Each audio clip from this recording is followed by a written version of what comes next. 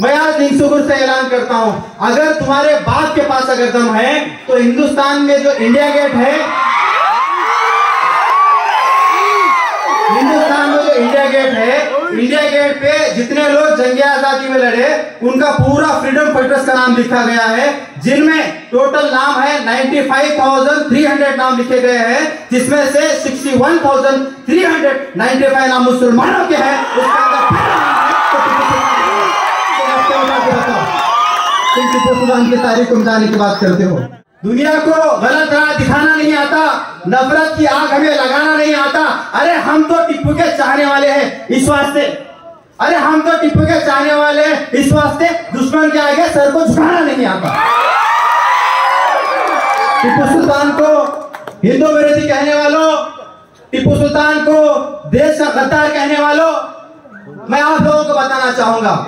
मैं आप लोगों को बताना चाहूँगा टिप्पू सुल्तान अगर हिंदू विरोधी थे टिप्पू सुल्तान अगर देश के गद्दार थे, जो एक सौ तिरपन मंदिर जिसने बनाया वो टिप्पू सुल्तान है। एक सौ तिरपन मंदिर जिसने बनाया वो टिप्पू सुल्तान है।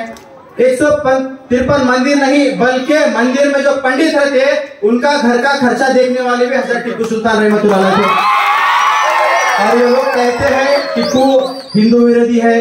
टिप्पू सुल्तान देश विरोधी है।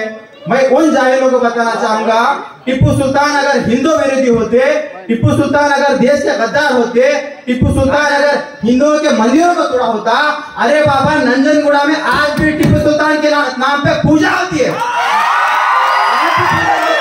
हर शाम हर शाम टिप्पू सुल्तान के नाम पे मंदिर में घंटी बजती है।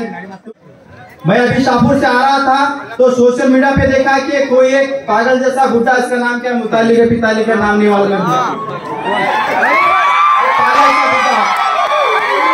जिस जिनका नाम मैं यहाँ पे लेना भी पसंद नहीं करूँगा, मेरी अच्छी महफिल को मैं खराब करना नहीं चाहता, उनका नाम लेके। तनवीर सेठ हमारे मैसूर के एमएलए, वो परसों स्टेटमेंट दिए के टिपू सुल्तान के नाम पे स्टैचू बनाते, उसको तोड़ देते बोल के बोल रहे। मैं उनसे कहना चाहता हूँ, अगर टिप्पू सुल्तान के स्टैचू को तुम्हारे को तोड़ना है तो 1779 में 1779 में हज़रत शहीद टिप्पू सुल्तान अलैह दलितों को चौदह हज़ार एकड़ ज़मीन गिफ्ट में दे दिए। एक नहीं, दो नहीं, चौदह हज़ार एकड़ ज़मीन गिफ्ट में दे दिए। उसको नीरावरी करने के वास्ते 300 से ज़्यादा तालाब बनाए गए। वो तालाब को कंट्रोल करने के लिए, उसमें पानी सप्लाई करने के लिए एक डैम बनाया गया। वो डैम का नाम के आर एस है। आज भी वहाँ पे टिप्पू सुल्तान के नाम का पत्थर मौजूद है। कि तहजुद भी नाम इसवी हो। तो लोग एक दूसरे का मुँह देखने लगे। बड़े बड़े मशाइकीन थे बड़ा बड़े बड़े हाफिज थे, उलमाए दीन थे। तो लोग परेशान थे कि ऐसा, वैसा कौन शख्स है जो बालिग होने के बाद तहजुद तक भी ना छुड़ी हो। तो शेर मैसूर पीछे के दरवाजे से आकर नमाज़ पढ़ाई है। बात नहीं है। एक राजा अपने सल्तनत को बरकरार रखते हुए, सबको देखते हुए नमाज़ की पाबंदी की और एक छोटी सी हकीकत साथ अपनी जगह लेना चाहूँगा।